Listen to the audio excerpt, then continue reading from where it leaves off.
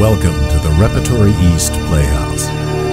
This is MMX, the 2010 season. April 23rd. The 81 series, 12 Angry Men by Reginald Rose.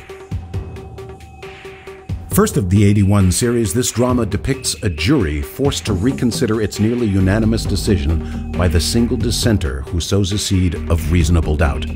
The story begins after closing arguments have been presented in a homicide case, as the judge is giving his instructions to the jury.